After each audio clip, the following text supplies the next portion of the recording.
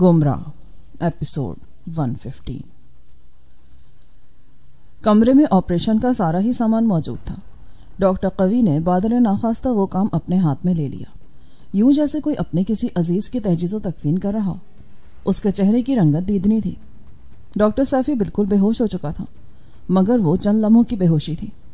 अपने तमाम औज़ार उसने करीब कर लिए, मगर अब भी वो किसी गहरी सोच में गुम था। जब वो सैफी को टीका लगा चुका तो मेरी तरफ़ देखे बगैर बोला, ये बदतरीन किस्म का जुर्म है जो आप मुझसे करवाना चाहते हैं। मैं इसमें शामिल नहीं हो सकता। ज़्यादा बड़बड़ की ज़रूरत नहीं है। मैं जो कह रहा हूँ वही करो। ये भी तो सोचो कि डॉक्टर सैफी ने भी तो आखिर एक ज़िंदा इंसान की आँखें ज़बरदस्ती निकाल कर किसी के लगाई थी। क्या उसे अपने जुर्म की सज़ा नहीं मिलनी चाहिए? पता नहीं मेरे लहजे की तलखी उसे खा गई या मेरे इंसाफ तलब अंदाज ने उसे मुतासर किया। उसके हाथ आप ही आप, डॉक्टर सैफी की आँखों तक जा पहुँचे। मेरा ख्याल है, शायद वो बदतरीन हालात में भी ऐसा करने पर राज़ी ना होता। मैं और ताहिया दोनों पिस्तौल लेकर उसके पास खड़े रहे। बिलाशुबा, वो बहुत ही माहिर डॉक्टर था, और उसे अपने फन से जो प्यार था, वो उसके हाथों की उंगलियों से ज़ाहिर होता था। कोई आधे घंटे में उसने सैफी के करनियाँ निकाल लिए। मुझे उससे कोई हमदर्दी नहीं थी।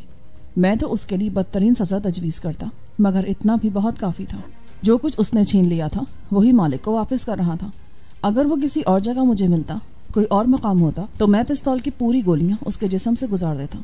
मगर उस वक्त उसके करनियों की ही हमें ज़रूरत थी, और वो डॉक्टर कवि ने पूरी कर दी थी। उसे किसी नर्स को भी अंदर बुलाने की ज़रूरत नहीं पड़ी।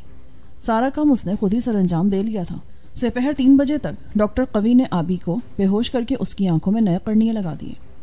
जब वो उसे पट्टियों में दबा चुका तो मेरी आँखों में आँखें डालकर बोला मैंने ये काम मुकम्मल कर दिया है। आप क्या कहते हो? अगर इस आदमी की रोशनी वापस ना आई तो याद रखो, तुम्हें इसकी बहुत ज़्यादा कीमत अदा करनी होगी। मैं कुछ नहीं कह सकता। दोनों करनिए मैंने निकाल कर लगा दिए हैं।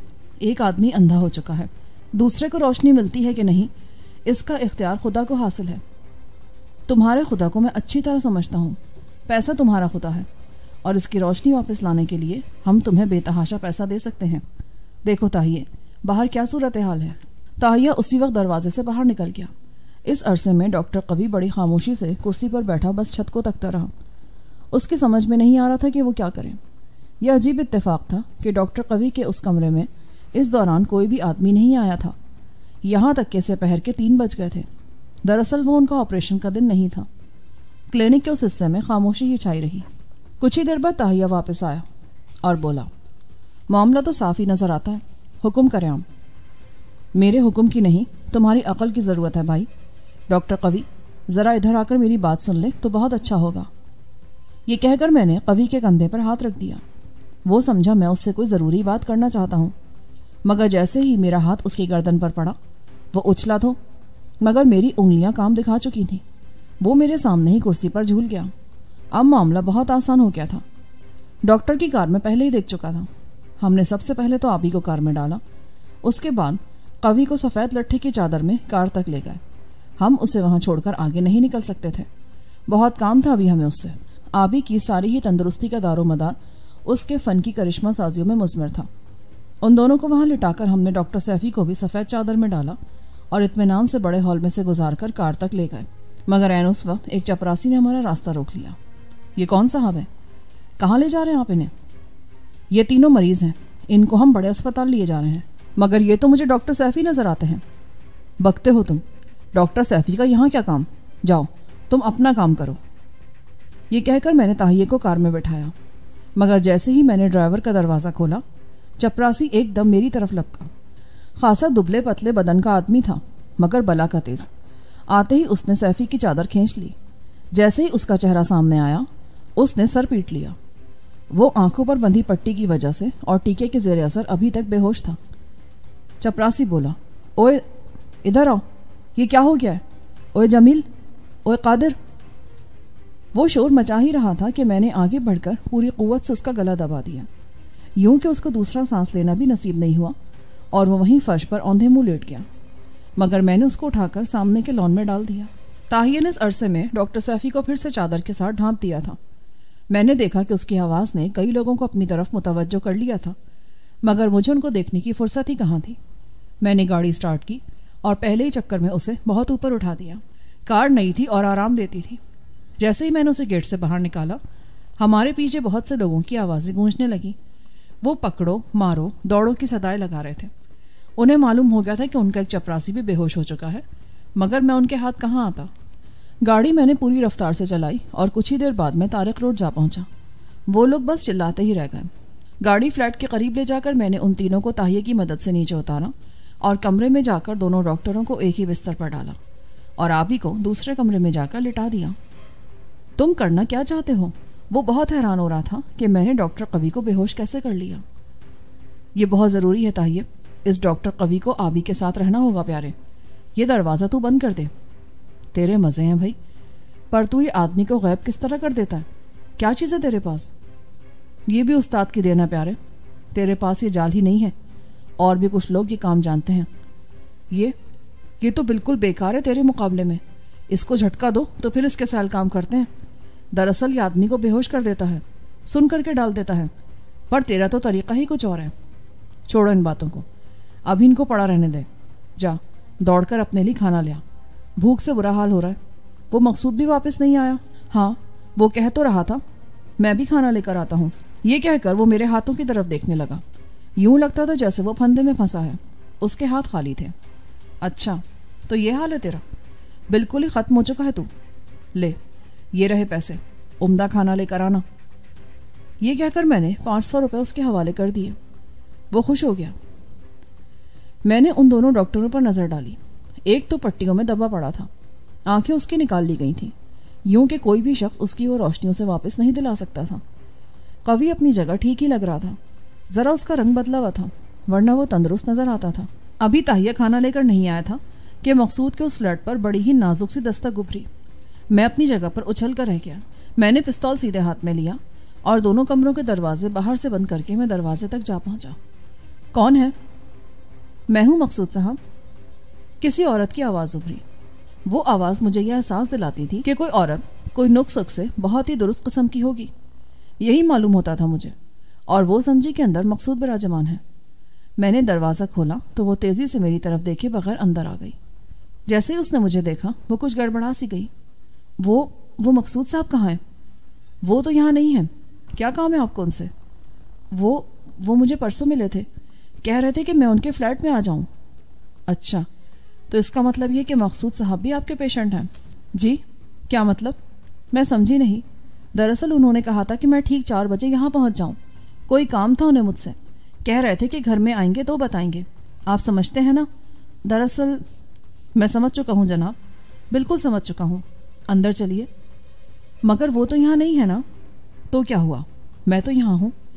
वैसे दरअसल मैं खुद भी उदासी का शिकार हो रहा हूँ। मैं माफ़ी चाहती हूँ। मुझे इजाज़त दीजिए। वो पीछे मुड़ने लगी तो मैंने उसका रास्ता रोक लिया। बैठे। कोई हर्ष नहीं। मुझे भी ये उदासी ले डूबेगी। आइए। ये कहकर मैंने उसके बाजू पर हाथ डाल दिया। वो चली तो सही, मगर यूँ जैसे कोई बेबस होकर चलता है। ड्राइंग रूम में ले जाकर मैंने उसे सोफे में धंसा दिया। उसकी उम्र यही कोई बीस बाईस साल होगी। क्या पियेंगी आप? इधर फ्रिज में बोतलें मौजूद हैं। मुझे अफसोस है कि मैंने खामोखा आपको जहमत दी। दरअसल मकसूद साहब से यूँ ही मेरी मुलाकात हो गई थी। वो बहुत मसरूफ़ आदमी है। अता पता वो मुझे दे गए थे। बस इसी पर चली आई। तो इसमें शर्मिंदा होने की क्या बात है? आदमी आदमी से ही मिलता है। ना सही मकसूद साहब, मैं जो हाजिर हूँ, कोई काम हो तो बताएँ। जी बस काम तो कुछ भी नहीं। कहा है ना कि वो शदीद नफसियाती उलझन का शिकार थे। मुझसे होटल में मिले तो बोले कि मैं उनके पास आ जाऊँ तो बहुत ही अच्छा होगा। कहीं आप भी तो पुलिस के मुलाजिम नहीं हैं। जी, ये क्या कह रहे हैं आप? मैं तो उनको देखने आई हूँ। मेरा पुलिस से क्या वास्ता? ठीक है ठीक है। ये लें। ये कोक तो ज़रूर पिए। मेरा ये अंदाज़ा था कि आप भी पुलिस के मुलाजिम हैं। दरअसल हमें लोगों के बारे में सही अंदाज़ा नहीं होता ना इसीलिए गलत राय कायम कर लेते हैं। लें ये बोतल लेना जी नहीं शुक्रिया।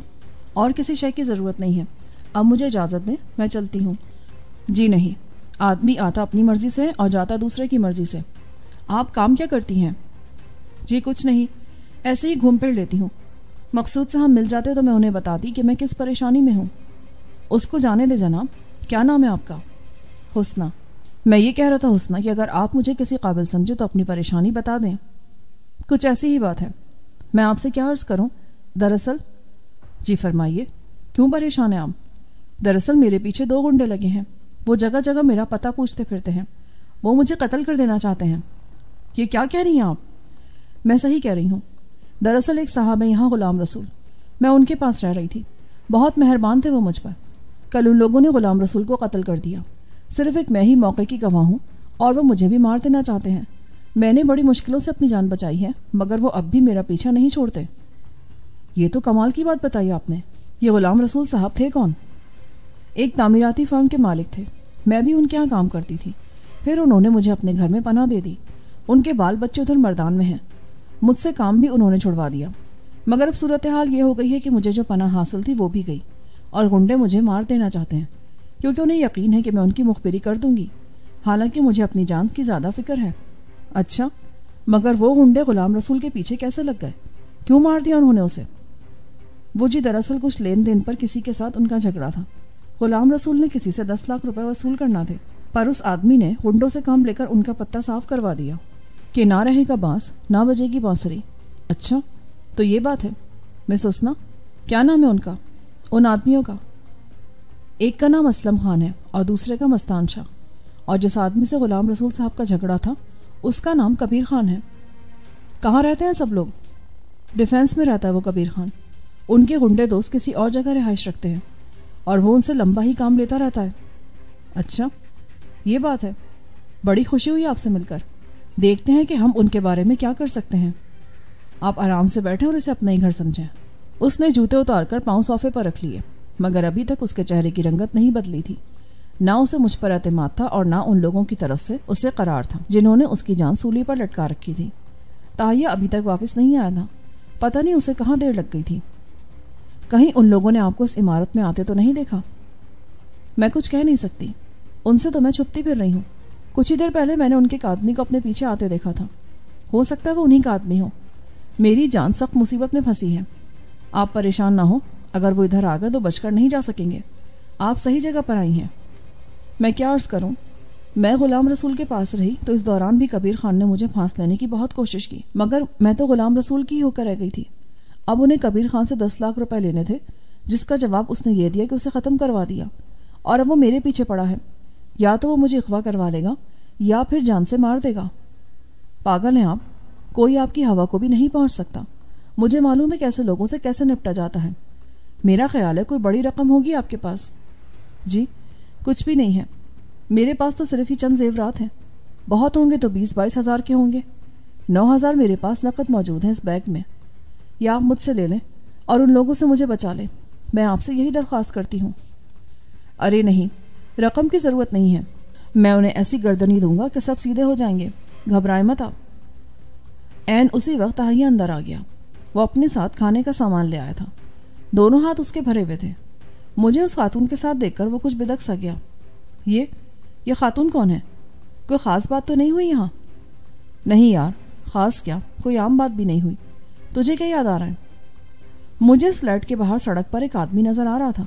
वो इस जगह को ख़ास तौर पर देख रहा था। समझ में नहीं आया था कि वो चाहता क्या है। अच्छा मैं भी तो देखूँ ज़रा। तुम इधर ही बैठो। ये कहकर मैं वहाँ से उठा और पिस्तौल सीधे हाथ में लेकर मैंने रुमाल से ढांप लिया। दरवाज़ा बाहर से खोला तो एक आदमी तेज़ी से मेरे सामने से गुजरा। मगर वो तो कोई और ही शख्स था। हमारे दरवाजे पर उसकी नज़र नहीं थी। मैं कोई दस मिनट तक सामने की सड़क पर इधर उधर फिरता रहा, मगर मुझे वहाँ कोई आदमी नज़र नहीं आया। मायूस होकर मैं फ्लैट में वापस आ गया। पिस्तौल मैंने नेफे में अड़स कर नशिस गाँव में कदम रख दिया। ताहिया सरसे में खाना लगा चुका था। वो बोला, कोई आदमी नज़र आया तुम्हें? नहीं, कोई भी नहीं था वहाँ। बहरहाल जो भी होगा देख लेंगे हम। तुम यूँ करो कि आबी को जगाकर उसे खाना खिला दो। मैंने उसे जगा दिया, यार। बहुत ही बहादुर आदमी है वो। मुझे मालूम है कि आँखों का दर्द कैसा होता है, मगर वो सी तक नहीं करता। मैं खुद उसके पास बैठकर उसे खिलाता हूँ। तुम ये खाना इधर ले आओ। आप दोनों यहाँ बैठकर खा लें। जी, मुझे तो भूख नहीं है, हुस्ना ने कहा। ऐसा ना कहें, खाना ज़रूर खा लें और बेफिक्र हो जाएँ। यहाँ आपको कोई कुछ नहीं कह सकता। ये कहकर मैंने ज़रूरी सामान उठाया और आबी के पास जा बैठा। मेरी आवाज़ सुनकर वो बोला, मेरे लिए कब तक ये तकलीफ़ उठाते रहोगे यार? अब मैं सीधा नहीं हो सकता हूँ। लाइए प्लेट इधर दे दे। हद है कि मैं सामने रखा बर्तन भी नहीं देख सकता। नहीं यार, तू कैसी बातें करता है? हमने दोनों डॉक्टर इधर डाल दिए हैं। वो खुद तेरा इलाज करेंगे। ये कहकर मैंने प्लेट उसके सामने रख दी। मुर्गी का सालन था और रोटियाँ बहुत ही नरम थी। आबी ने खाने में हाथ डाल दिया। जायका बहुत उम्दा था। वो खुश हो गया। बोला, खाना तुम अच्छा लाए हो। पता नहीं ऐसे स्यापा कब खत्म होगा। मैं तो थक गया हूँ यार। यूँ नहीं करते आबी। तुमको हौसले से काम लेना होगा। तुम्हें खुदा ने बड़ा काम डाल दिया है। इससे तुम्हें निमटना होगा।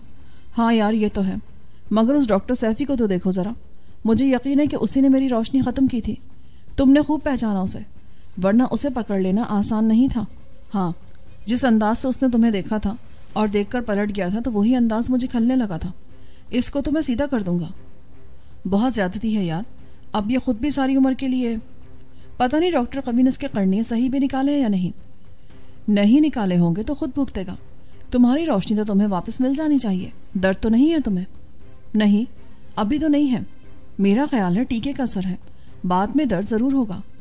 मैंने अभी यहाँ किसी औरत की आवाज़ सुनी थी। बस ये औरतें ही तुम्हें ले डूबी हैं अभी। भला औरत इधर कहाँ से आ गई? वो मेरे लहजे की शोखी को समझते हुए बोला, औरत ही तो असल चीज़ है। ये ना होती तो दर भंग घुटती। मगर अभी तुम्हें कुछ पता नहीं चल सका।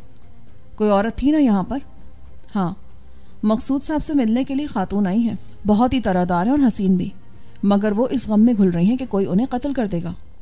तो बचा लो ना उसे औरतों को हर हाल में बचाना चाहिए। मैं तुम्हारी जगह होता तो दीवार खड़ी कर देता उसके और मौत के दरमियान। वैसे मुझे नहीं दिखाओगे उसे। तुम कोई देखने दिखाने की चीज़ हो, ज़रा छुरी तले दम लो, फिर देख भी लेना। बहुत दिन रहेगी वो यहाँ। कहीं कोई पुलिस की भेजी हुई औरत तो नहीं है? तुम्हें भी मरवा देगी वो? नहीं, वो ऐसी नहीं है। और ना ही तुम जैसे किसी पेशेंट को तलब करती है। सिगरेट पियोगे? हाँ यार, मैं तो इससे बिल्कुल ही महरूम रह गया हूँ। सिगरेट पीने के बाद आबी लेट गया। मैंने उसे पंखे के नीचे लिटवाकर चादर उड़ा दी तो उसने पहलू बदल लिया, जिसका मतलब यह था कि वो सोने के बूट में था। मैंने वहाँ से बर्तन उठाया और ताहिए के पास जा पहुँचा। वो उस नामी खातून से किसी मसले पर बहस कर रहा था। मेरा ख्याल है कि मामला किसी के कत्ल का ही था। खाना वो दोनों खा चुके थे। पता यह चला कि ताहिए के नज़दीक किसी को कत्ल कर देना कोई बात ही नहीं थी। उसका ख्याल यह था कि कोई आदमी जब ही कत्ल होता है जब खुदा उसकी दराज रस्सी को कम से कम कर देता है, वरना तो किसी के कत्ल होने का कोई जवाब ही नहीं। और वो खातून जो मुझसे कह रही थी कि उसे अपने कत्ल का कभी शुबा है तो ताहिए के नज़दीक ये भी खुदा की रजा ही थी। वरना कोई आदमी भला किसी दूसरे को कैसे कत्ल कर सकता है? ये उसका ख्याल था। अबे, तू क्यों बेतु की हाँक रहा है? कत्ल भी गोया खुदा ही की तरफ़ से होता है।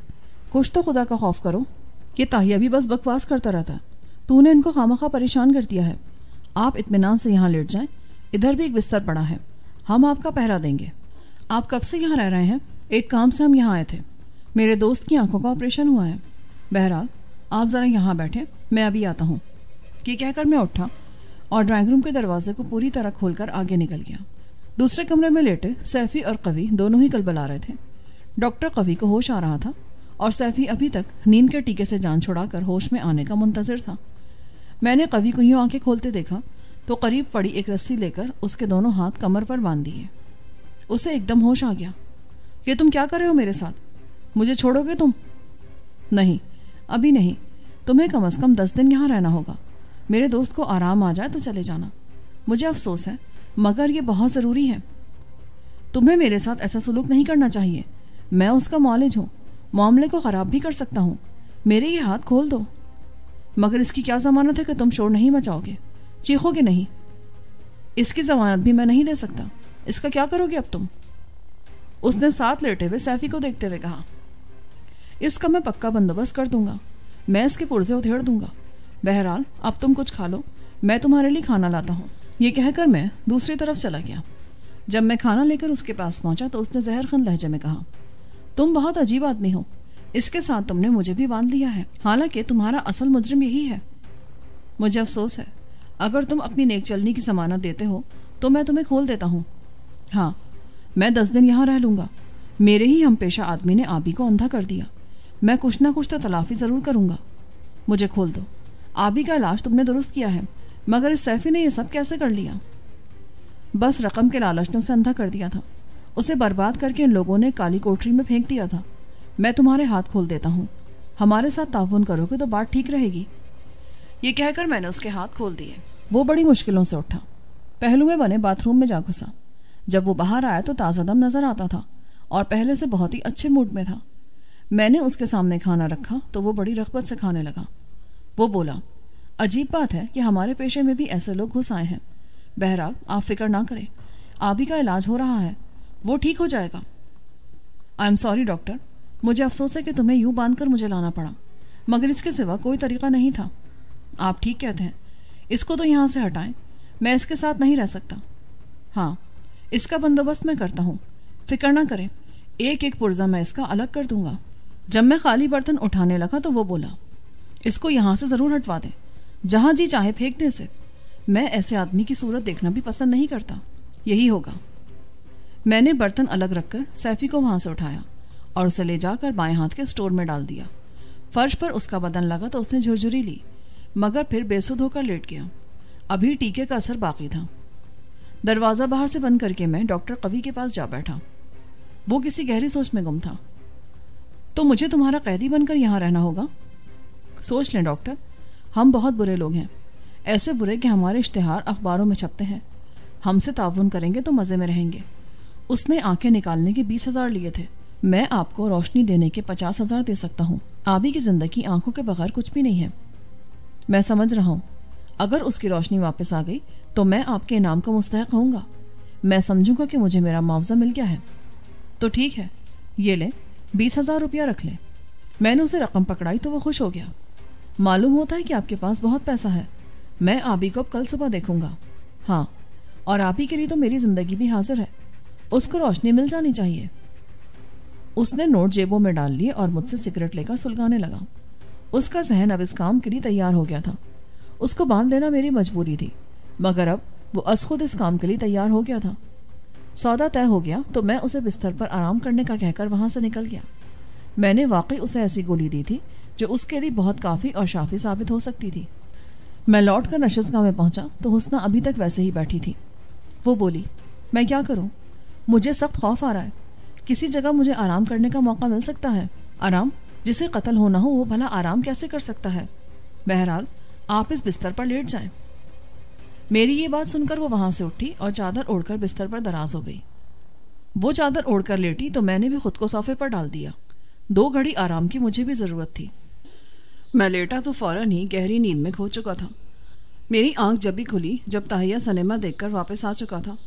मैंने उठकर दरवाज़ा खोला तो उसने एक लंबी सेंगड़ाई लेते हुए कहा, फ़िल्म तो बोर ही थी, मज़ा बिल्कुल नहीं आया।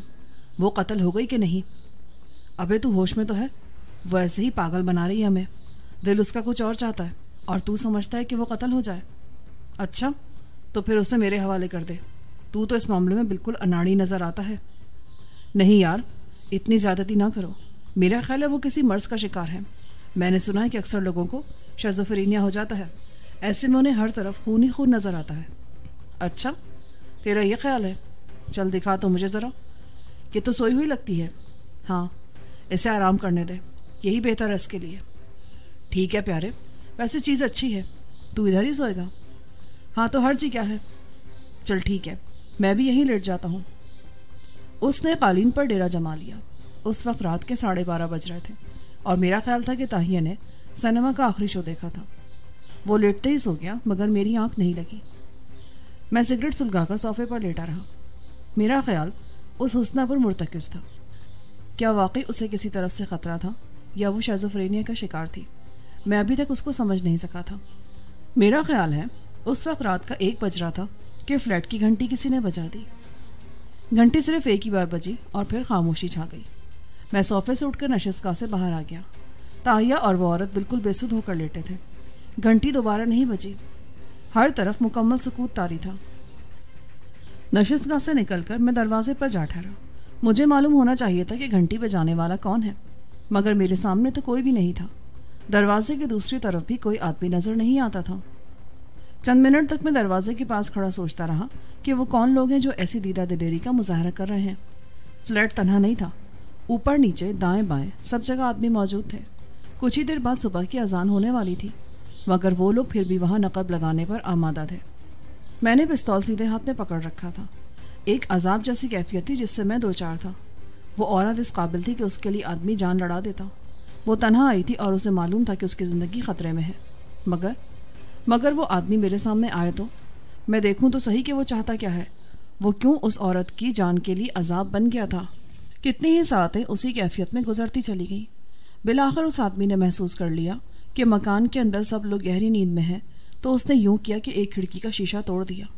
इस तरह की कम से कम आवाज़ पैदा हो। अब उसका काम आसान हो गया था। उसने हाथ डालकर कुंडी उतारी और फिर उसके अंदर दाखिल होने लगा। मैं उस वक्त तक खिड़की के साथ जा ठहरा था। वो जैसे ही आगे निकला, मैंने उसके हाथ में पिस्तौल देकर अपना चुपशा उस पर चला दिया। गोली बेआवाज चली और उसका हाथ चल कर गई। पिस्तौल उसके हाथ से दूर जा गिरा था। मैंने बाएँ हाथ से उसकी गर्दन दबोच ली। वो चीखा नहीं। गोली की जरब वो इतनी खामोशी से सह गया कि एक सी की आवाज़ उसके मुँह से निकली और बस। उसकी गर्दन पर हाथ डालते ही मैंने उसे बेसुध कर दिया। दूसरा आदमी उससे चंद हाथ पीछे था। वो भी आगे आया और खिड़की में से गुजर गया। मगर जैसे ही वो मेरे सामने आया, मैंने उसका दायां हाथ इस तरह नीचे झुकाया कि उसकी एक टांग जो अभी दूसरी तरफ़ थी, आगे ना आ सकी। वो उलट कर खिड़की के अंदर गिर गया। उसे उम्मीद ही नहीं थी कि कोई दूसरा आदमी उस पर यूँ हमलावर हो जाएगा। उसको नीचे झुकाकर मैंने अपना पिस्तौल उसकी गर्दन से लगा दिया। बेहतर यह है कि तू अपना पिस्तौल छोड़ दे। मेरी आवाज़ उसकी समाज से टकराई तो वो उछल सा गया। पिस्तौल उसने नहीं छोड़ा। उसकी खूबी यह थी कि वो अंधेरे में बिल्ली की तरह तेज़ी से देख सकता था। पिस्तौल उसने मेरे बाएँ हाथ से छुड़ा लेना चाहा, मगर मैं उससे कैसे दस्तबरदार हो सकता था? उसे मैंने और ज़्यादा नीचे झुकाकर अपना पाँव उसके हाथ पर रख दिया। सोच लो बेटा, ये सौदा तुम्हें महँगा पड़ेगा। मैं तुम्हें अभी मार सकता हूँ। मैंने ये बात कही थी कि उसने उलटकर अपनी दोनों टांगे मेरे गले में डाल दी। यूँ कि मेरा बायां हाथ अब उसके हाथ में था और मेरा पिस्तौल अपने निशाने से हट चुका था। मेरा पाँव अभी तक उसके दाएँ हाथ पर था। मुझे उसने झटका जो दिया तो मेरा पाँव अपनी जगह रुक ना सका। जैसे ही उसका पिस्तौल मेरी गिरफ्त से निकला, उसने चाहा कि मुझे गोली का निशाना बना दे, मगर अभी मेरे दोनों हाथ सलामत थे। मैंने अपना पिस्तौल छोड़ दिया और पूरी कुत से मैंने उसके बाएँ हाथ को पकड़ लेना चाहा। मगर उसे निशाना लेने के लिए ज़रा सी मोहलत की जो ज़रूरत थी, वो नहीं मिल रही थी। हाथ उसका मेरे जिसम से खासा दूर था और अब मैं उसके पिस्तौल को पकड़ चुका था। दूसरे ही लम्हे मैंने उससे, वो मोहलिक हथियार छीनकर दूर फेंक दिया। मगर जैसे ही उसका हाथ फारिग हुआ, उसने मुझे ज़बरदस्त झटका देकर नीचे गिरा लिया। मेरी गर्दन अभी तक उसकी टांगों की गिरफ्त में फंसी थी। मैं नीचे झुका तो उसने टांगे खोलकर पूरी कुत से मेरे चेहरे पर मुक्का दे मारा। मैं उस मुक्के से दहल सा गया। उस बदमाश ने अपने बदन की पूरी कुत उस पर सर्व कर दी थी। चंद लम्हों तक तो मैं भूल ही गया कि हुआ क्या है। उस लम्हे से फ़ायदा उठाकर वो पिस्तौल की तरफ़ लपका। मगर मैंने उसके दोनों बाजू रास्ते में ही रोक लिए और उसका दायां बाजू हाथ में लेकर मैंने ज़रा सा ज़ोर डाला तो उसका जोड़ खुल गया। तड़ाक की आवाज़ पैदा हुई और उसने अपना बाजू बड़ी ही दहशत खेज आवाज़ से रानों में दबा लिया। वो आवाज़ बड़ी ही दिलदोज थी। दूसरे आदमी के बिल्कुल बरक्स उससे वो चोट सही न जा सकी। मैं चाहता तो पहले ही मरहले पर उसे भी जान से गुजार सकता था। उसको ठंडा ठार कर देता, मगर मैं उसको बोलने की कुत से महरूम नहीं करना चाहता था। जैसे ही उसने अपनी कलाई रान में दबाई, मैंने उसको खींचकर पीछे हटाया और नशस गा के कमरे के सामने ले जाकर डाल दिया। तुझे मालूम नहीं कि तू किसके घर में आ गया बच्चे? बता, क्या काम था तुझे? किससे मिलने आया है तू यहाँ पर? मैंने अपना पिस्तौल उठाते हुए कहा, उसका और उसके साथी का पिस्तौल मैंने गोलियों से खाली करके एक तरफ़ डाल दिया था। ये बेआवाज चलता है। तू कहे तो मैं इसकी आवाज़ सुनवा दूँ तुझे? ये कहकर मैंने अपने चुपशा को उसके बालों के ऊपर से गुजार दिया। गोली सीधी उसके घने बालों को चाटती हुई निकल गई। आवाज़ बस इतनी पैदा हुई कि वो दोनों जो कमरे में गहरी नींद में खोए हुए थे, करवट बदल कर रह गए। कौन है तू? और किस लिए यहाँ आया है? अपन को कुछ नहीं पता। अपन तो अपने साथी का गुलाम है। बदमाश? बकवास करता है? उठ जाता ही है आ गए हैं ये कोटियों वाले। उठ साले। ये कहकर मैंने उसकी पसली में एक ठोकर लगाई। मेरी ये बात सुनकर ताहिया बेदार हो गया। अपना पिस्तौल उसने नेफे में अड़स रखा था। उसे सीधे हाथ में लेकर वो कालीन पर से उठा तो उसकी समझ में नहीं आ रहा था कि क्या हो रहा है। उसने सूरत हाल का जायज़ा लेने के लिए बत्ती जला दी। अरे, मैं सदके जावा। इनको मार भी चुका। मुझे तो जगा लिया होता। लगा जूते इस साले के। शाम से मैं इन्हीं का इंतज़ार कर रहा था। ये कहकर वो सातमी के पास जा पहुँचा और उसके घने बालों को मुट्ठी में दबाकर बोला, बदमाश, एक औरत को मारने आया तू? लफंगे कहीं के? ये बदमाशी है तुम्हारी। वो पड़ी है वो औरत। लगा उसे हाथ। देखूँ तो मैं, कितने पानी में है तू? उसने नज़रें झुका ली। हाथ उसका बिल्कुल ही काम नहीं करता था और वो उसका दायां हाथ था। क्या गुना किया इस औरत ने? क्यों मारना चाहते हो तुम इसे? बताता है कि नहीं? मार जूते इसके। ये यूँ सीधा नहीं होगा। ये कहकर ताहिया ने उसके बाल छोड़ दिए और उसकी कमीज के गिरेबान पकड़कर अंदर खींचते हुए बोला, ले, ये रही वो औरत। उठ जा बड़ी भी, ये रहे तेरे कातिल। क्या गुना किया इस औरत ने? वो जी, दरअसल हमें कबीर खान ने यहाँ भेजा था। उसने हमें बीस हज़ार रुपए दिए थे कि हम इसको ख़त्म कर दें। हुसना इस अरसे में उठ गई थी और उसको यूँ देख रही थी जैसे उसका खंजर अभी उसके सीने में उतर जाएगा। उससे बात नहीं की जाती थी। वो सहम से मटकर पलंग के दूसरे हिस्से तक जा पहुँची। उसका रंग हल्दी हो रहा था। तेरे कबीर खान की ऐसी की तैसी। जा, हम तुझे तीस हज़ार देते हैं। तू उस कबीर खान को ख़त्म कर दे। कर देगा तू? किराए का कातिल है ना तू तो। समझता क्या है खुद को? ये कहकर ताहिया ने जूता उतारकर तड़ाक से उसके सर पे दे मारा। ये तनहा ही था या कोई और भी था इसके साथ? एक आदमी बाहर भी पड़ा है, उस दीवार के साथ। ठीक है, जूते मारते रहो इसको। बता अब क्या सजा दें तुझे? पुलिस के हवाले कर दें? अपन को माफ़ कर दो मियाँ जी। बस भूल हो गई अपन से। ये नहीं पता था कि इस हुस्ना के लिए ऐसे ऐसे दोस्त भी यहाँ पड़े हैं।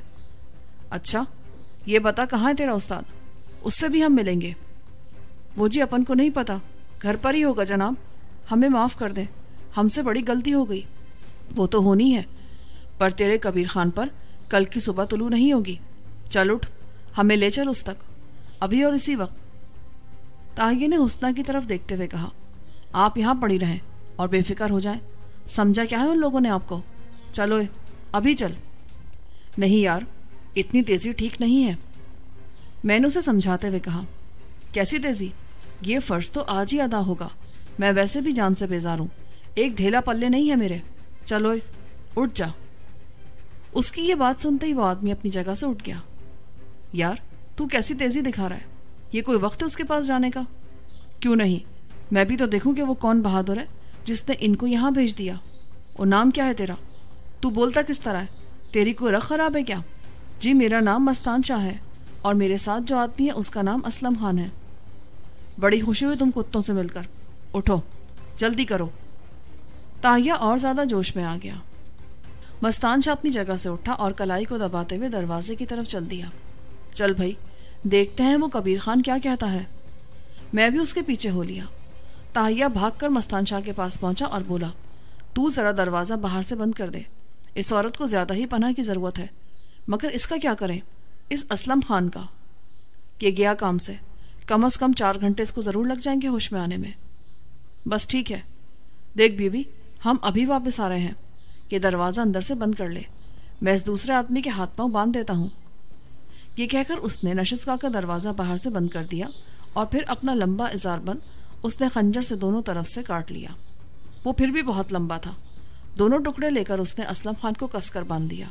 इस तरह के उसके हाथ पाँव जकड़ दिए गए थे। इस काम से फारग होकर उसने दूसरे कैदी पर नज़र डाली और बोला, वो गड़बड़ तो नहीं करेंगे? नहीं, मैंने उन्हें कमरों में बंद कर रखा है। बाहर से कुंडी चढ़ी है। आबी अलबत्ता खुला हुआ है। उसकी तो खैर है यार जी। बस इसको ले चलो। चलो खंजीर के पुत्र। ये कहकर वो उसे फ्लैट से बाहर निकल गया। मैं भी उसके साथ ही था। कुछ ही देर बाद हमने फ्लैट का दरवाज़ा बाहर से बंद करके डॉक्टर कवि की कार में मस्तान शाह को डाला और डिफेंस की तरफ़ ले चले। मस्तान शाह कुछ ज़्यादा ही परेशान था, मगर ताहिए ने उसे अपनी गिरफ्त में ले रखा था। कहाँ रहता है वो तुम्हारा कबीर खान? मुझे डिफेंस में रहता है। मुझे माफ़ कर दे जनाब। माफ़ तो कर ही देंगे तुझे। किसी जगह गोली मारकर फेंक देंगे। और फरिश्ते तेरी रूह को साथ ले जाएँगे। अल्लाह अल्लाह, खैर सल्ला।